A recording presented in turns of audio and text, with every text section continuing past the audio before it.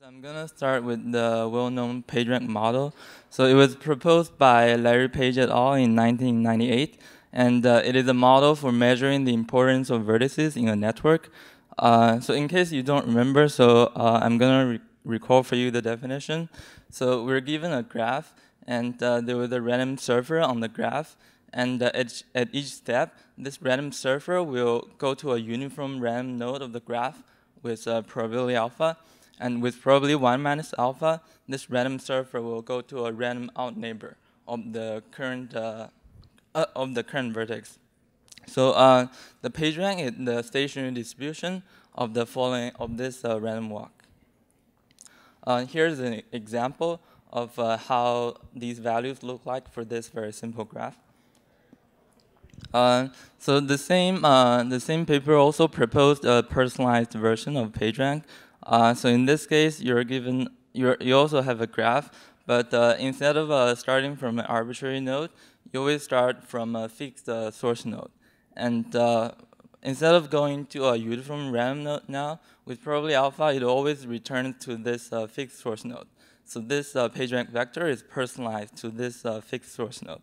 And it is again the stationary distribution of this random walk. And here the, here's uh, another example with the same graph, but uh, with the source node being A. Okay, uh, so personalized PageRank is uh, frequently used in recommendation systems. Uh, in a very classic paper in 2003, uh, Jeh and Widom, they first suggested how to use personalized PageRank in web search. More recently, uh, a group of researchers from Twitter, they reported their recommender system where PPR values are behind their engine. Uh, it is very well understood how to compute these uh, PageRank vectors and their generalizations and variants. Uh, so, uh, so in this work, we're more concerned about the streaming setting. So uh, people have observed that uh, in practice, the graphs are usually not static. They would instead they would change slowly in time. Uh, so here's a here's a graph from a recent paper last year. Uh, last year at www, uh, they they counted the number of daily added new edges at Twitter in 2010.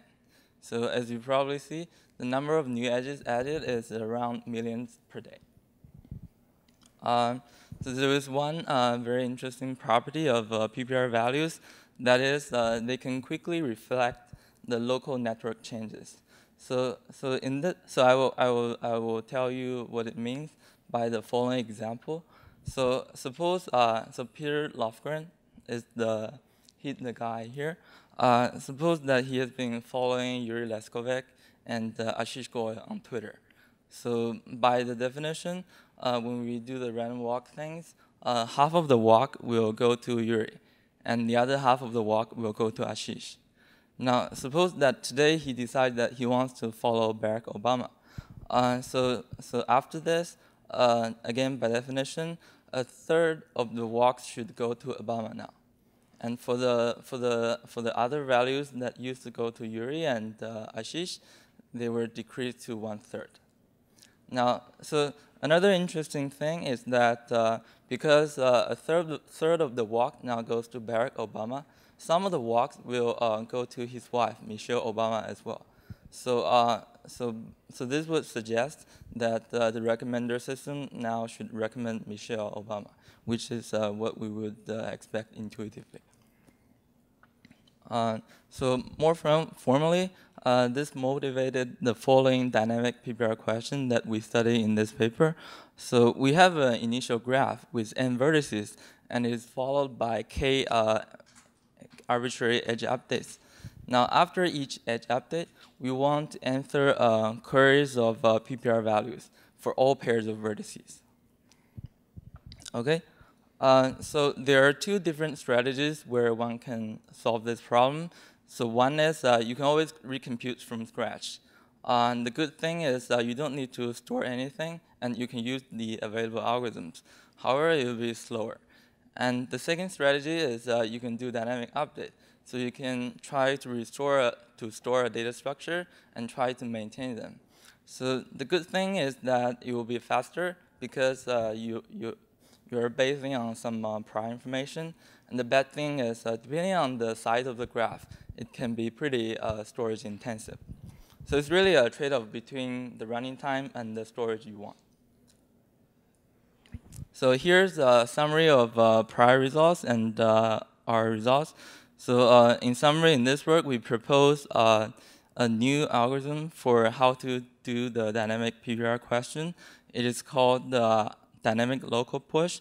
So uh, in case you haven't heard of local push, it is, uh, it is a new variant of a very well-known algorithm in the static setting.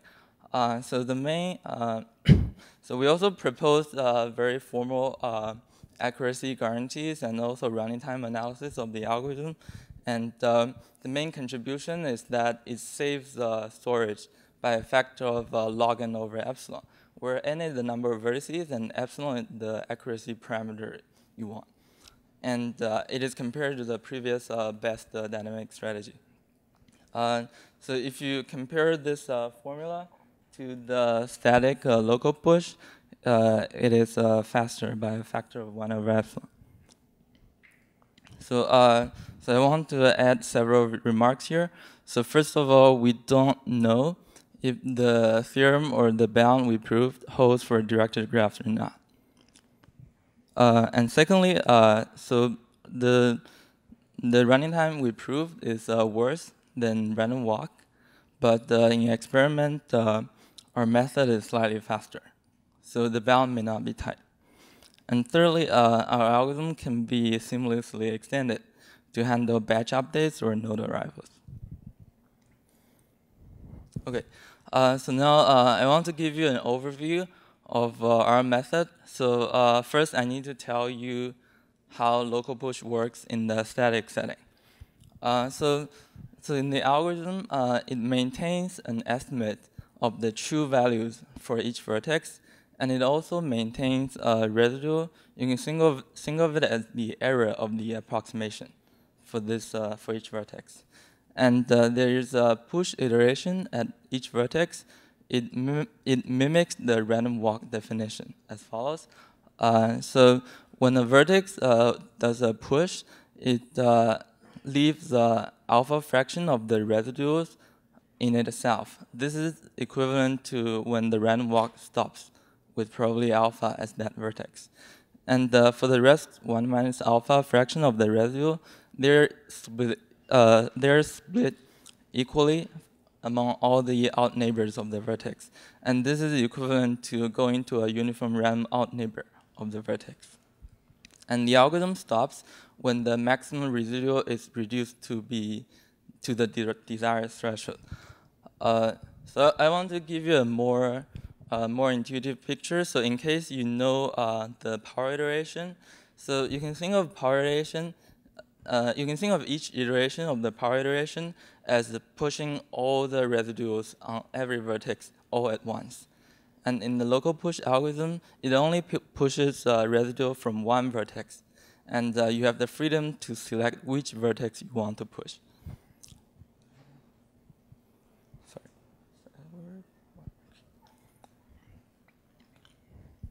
Okay, so, so now let me uh, walk through, uh, through an example of how the local push algorithm works. So in this graph, uh, so we, we start from the source node A. Uh, so it has the estimate 0, and it has all the residues on the vertex. So now, uh, so this A is selected to do a push because it has the biggest residue. And so this is what happens after A pushes. So it uh, splits the residue on B and C. And now uh, B is selected to push because it has the highest residue. And so it splits its residue to its neighbors, which is A, C, and D. And this is what happens when B pushes. And so this algorithm goes on and on uh, until uh, all the residues are reduced to the desired threshold. Uh, So, uh, so this is the, the key property of the local push algorithm, which is called the invariance property. Uh, so uh, it, it is basically a flow equation uh, that is satisfied by the random walk. Uh, so, so one way to think of these equations is uh, so when all the ad residuals are zero, then this is the same as the definition of the personalized PageRank vectors. Okay, so so what that means is that uh, local push is a relaxation method, and uh, you can think of it as a as a first order method, and uh, power iteration is a second order method. Okay, uh, so now the question is, uh, suppose uh, some edge is deleted, which which is B and C in this example. What should we do? Um, so so the idea is that because the graph changed, so we want to uh, restore the invariant. Because the invariant is different for the new graph. And so we want to first restore the invariant, and uh, after the variant, invariant is, is, stored, it will change the current uh, estimates and residuals on the graph. And in this case, we want to again apply the static local push algorithm again to reduce any residue that goes beyond the threshold. And uh, this is uh, what the algorithm looks like. Uh, I won't go into more detail anymore, but it's really five lines of code. And uh, this is uh, this is what happens in the same example. So as you can see, uh, the the residuals here on B and C increased a little bit. And for the residuals at A and D, they were not changed. And so now the question really becomes, uh, because we have these uh, changed residuals and we want to reduce them, so how much cost should we, would it take in this case? And so, so uh, the main contribution of our work is uh, an amortized analysis of this uh, dynamic uh, local push algorithm. so more formally, we proved that so if you have an arbitrary undirect, undirected graph with n vertices, and you have k arbitrary edge updates, we showed that uh, the amount of time you need to update is uh, linear in k.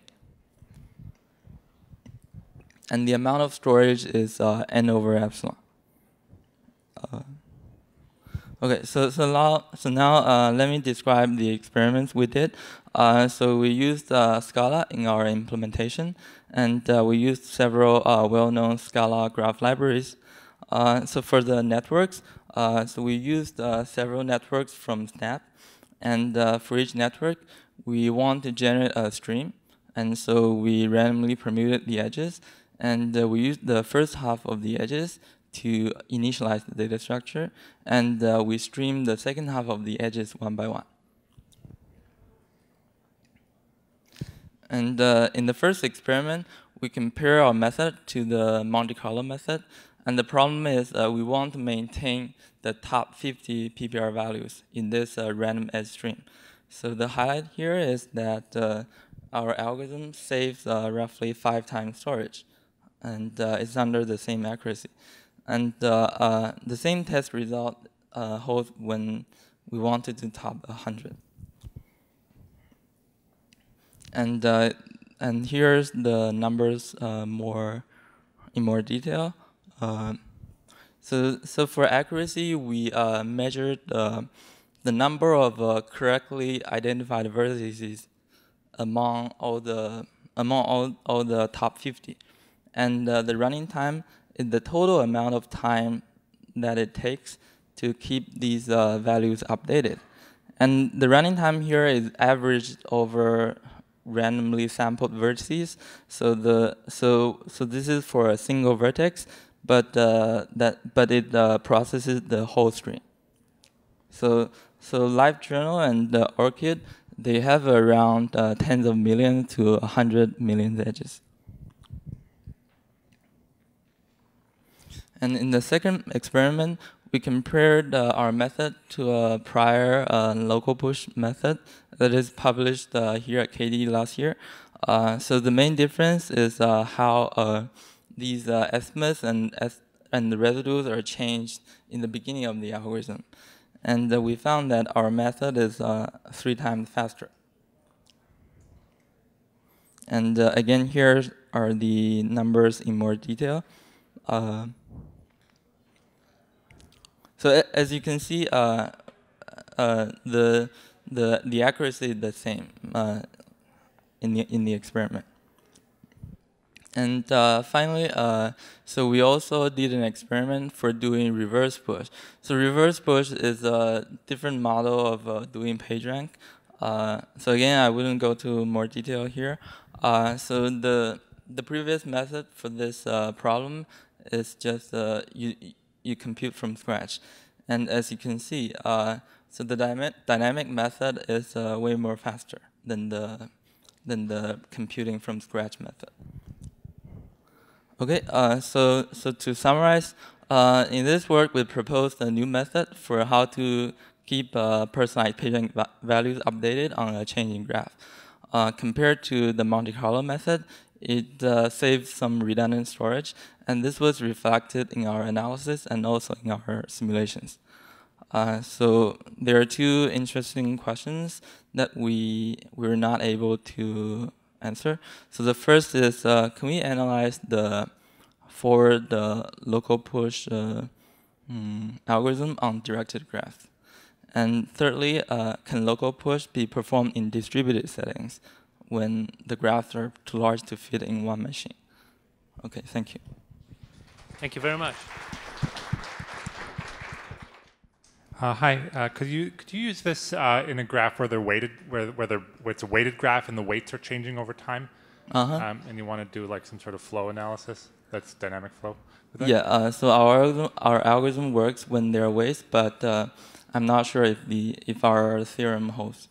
It was very nice talk, by the way. -huh. So I was wondering, there is a different notion of dynamic page rank where the graph changes while the walkers are moving.